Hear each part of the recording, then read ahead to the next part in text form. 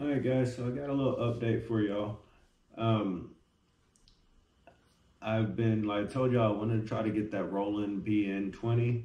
Um, it looks like I might be able to make that happen. Uh, I, I approved for some financing. I kind of wanted to take y'all through this as part of like the learning experience so y'all can know how all this works. So um, I reached out to Coldesi and um, there's someone there, a sales representative, who told me basically uh, how to how to apply for the financing through a third party company that they work with.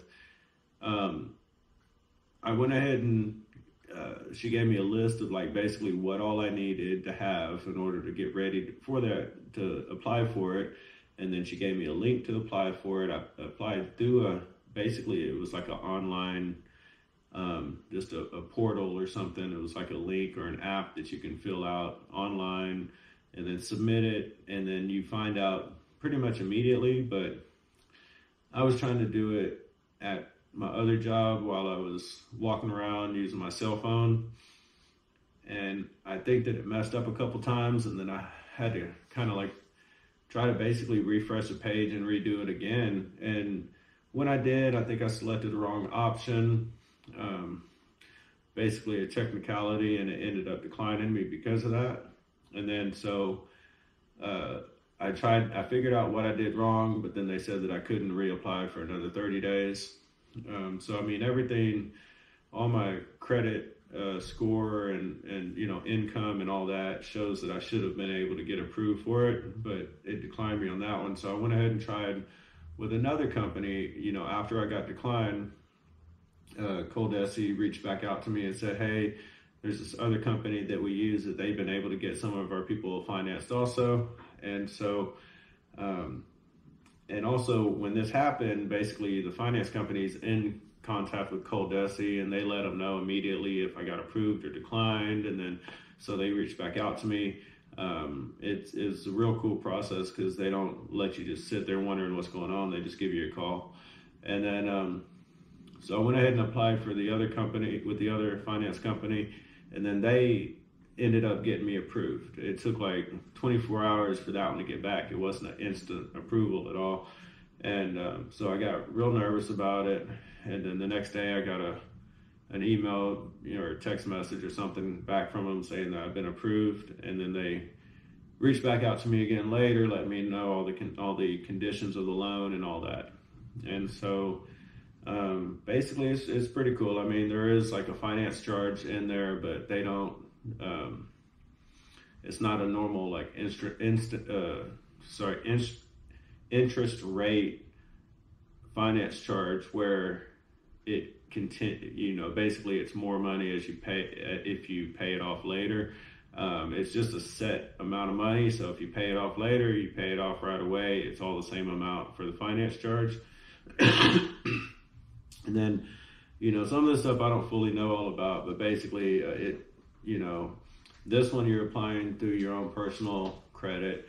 But then once you establish this credit with them from now on, whenever you apply for any sort of, uh, uh, you know, financing for equipment in the future, and that's what they specialize in is business equipment.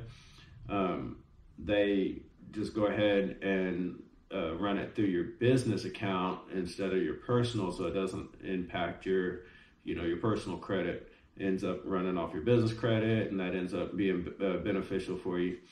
And then um, also something about oh I, I don't know I wrote down the note somewhere and I don't have right now, but it's called uh it's like falls under section something something, and they say basically you can uh, you can write off or you know do a deduction for the amount of the loan and all the the interest, the payments, and everything that you make on the loan is deductible from your. You can do a, a, basically a deduction from your taxes on that.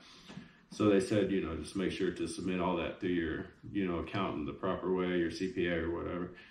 Um, so, you know, the the charge, the the amount that I'm going to be paying for it is a little bit more than what you know I I am really comfortable at this point in time. I was hoping that the the amount would be less, but um, you know, I'm just going to go for it and I'm going to hope that I get more business, that my business scales up and, you know, increases whenever I start learning how to use this printer. Um, there's a lot of jobs I've been turning down because I don't have the proper equipment, and uh, I don't want to take on jobs and do it subpar and then get bad reviews for it. So I'd rather just wait until I have the proper equipment and do it the the, the proper way. So um, that's that. And um, I want to give y'all a little tour of the shop because I cleaned it up a little bit. It's nothing nothing major, but I got it a little bit nicer. So um, you know, I just organized a little bit, cleaned up some of the clutter, and uh, there's still some clutter, plenty of clutter. But I had an old refrigerator right over here. I got rid of that refrigerator, and this leaves room for my Roland BN20A, which is hopefully to go right here. Um, this is actually not wide enough for it. The Roland BN20 is wider than this. I think right th right now this is 38 inches wide. Um, that one is 40 inches wide. So I'm hoping that the feet on it are a little bit more narrow so it still sits on here. And if it doesn't, I'm to put another piece of plywood on it or something just to extend the width of it. So that'll work.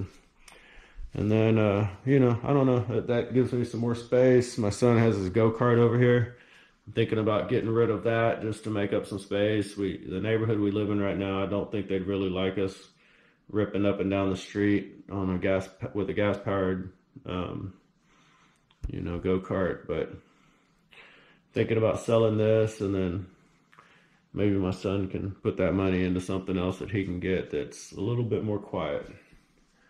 And uh, and then also, you know, I have my label printer or my thermal printer over here for my shipping labels I showed y'all that before. But anyways, it's just a little bit more organized now that I got rid of the fridge. It gives me more space to move around, and then I cleaned up some of my uh, clutter over here. So, anyways, that's that. And then something else. Um, I guess it's crazy the way the world is now, but you know, I'm over here trying to get um, a thousand subscribers so I can get monetized. I want to be able to start trying to, you know, I'm being honest about all this, want to make some money off the YouTube channel to help try to supplement everything else. Um, in the process of me learning all this, I'm trying to share everything else with y'all. So for me, it's like a trade off. It's a win win, hopefully.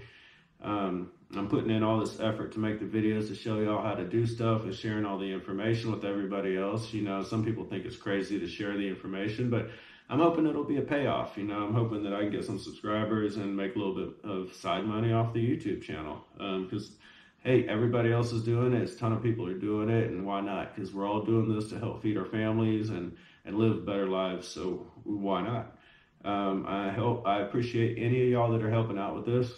Um, so on that note, I had a shocking discovery um, this weekend. It just happened yesterday, actually. Uh, it's kind of crazy to me, but it's the world we live in nowadays. You never know who's living around you or, you know, what people do. Um, but my son is just eight years old. He's a little guy, and he has a friend that he met that lives across the street. Um, and it turns out that he's a huge YouTuber. And, um, I didn't really believe it when I first heard it and thought that they were joking around, but apparently he's not. He makes animations and he's 10 years old. I'm not going to mention his name, his channel, or anything like that because he, he doesn't want fame. He doesn't want any of that. He's doing it just because he likes to do it, and it turned out to be pretty massive for him. So um, I don't talk to him about the money but he's divulged information to my son, and um, it's really crazy. It's really crazy. He's pretty much bigger as far as how much income he's making than any of the other YouTubers I watch. And um, yeah, I mean, I looked at his numbers, his statistics, and it all adds up. I mean, his views um, are more than any of the other YouTubers that I watch, other than Mr. Beast. So there's a lot of YouTubers I watch that are able to buy, you know, exotic cars and big nice houses and everything with their their YouTube revenue. And uh, this guy's got way more views on all of his videos than any of those people. Um, he doesn't have quite as many subscribers as some people, but I think the views is where it really adds up. And he does have well over a million subscribers. So it's pretty impressive. I'm just trying to get a thousand subscribers to get monetized. And the 10 year old across the street has well over a million subscribers. And he did say that the revenue he's making is well into the millions of dollars every year. And he's been doing this for several years now. So that's shocking to me. You know, it's somewhat inspirational. And it's crazy that, you know, it's someone that my son's hanging around with, but I think it's awesome because, you know, it's inspirational and hopefully it can teach him what you can really do when you, you know, are talented and you put your effort into something. Um, so I think that's cool. And, you know, he's real humble. He's uh, just a regular little kid and just plays around, spends the night here, and it's crazy. But, anyways, that's just a kind of shocking revelation that we found out about. And um, yeah, so I think it's cool and it's motivating and it just shows what's possible and it kind of brings all the reality it, it, kind of brings all this to reality a little bit more to show what can really happen so anyways uh yeah so i guess i'm inspired now a little bit more than i was before um, just because i see uh, with even more reality what can really happen so anyways um, please like share subscribe thanks for watching and uh, please, yeah, keep uh, keep looking out for my next videos because hopefully I'll have a Roland BN20 soon to be able to show y'all how to do some stuff with, and you know, um, I'm learning more stuff about the label printer. Also, learned a lot of stuff about it, so I'm gonna start doing some more tutorials about the label printer. Also, if any y'all have that and are struggling with it. So, all right, thanks for watching.